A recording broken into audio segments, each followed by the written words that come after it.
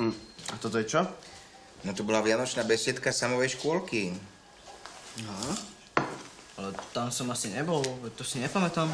Ale bol si tam, tu si vzadu.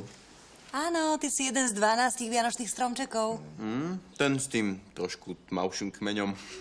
Aha, už si na niečo spomínam. Fakt? A bol som dobrý?